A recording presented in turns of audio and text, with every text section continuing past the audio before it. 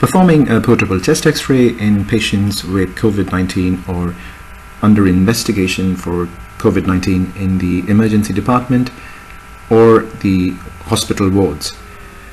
This is a standard operating procedure and can be used as a checklist and this is based on the British Society of Thoracic Imaging action cards.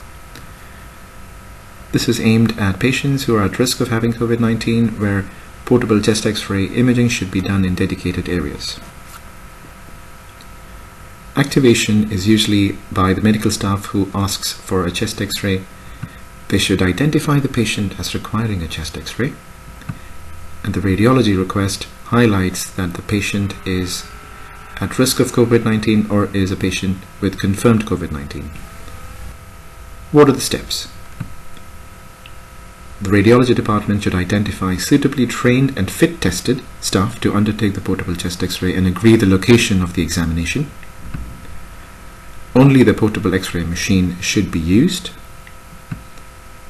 Appropriate fit tested radiographers should perform the examination. The staff should be careful to wear the correct PPEs as shown in the image, which includes the face shield and goggles, the N95 respirator, isolation gown, and disposable gloves. Always try to work in pairs whenever possible. Place the DR detector in a protective bag.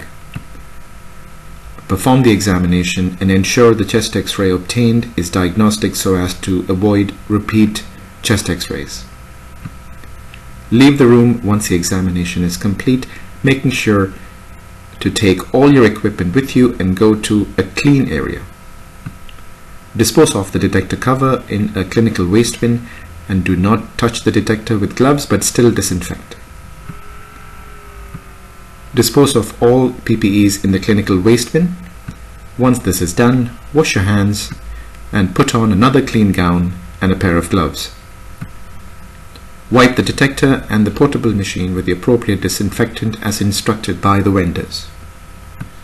Dispose the PPE, wash your hands and return to the department and process the image. Stand down.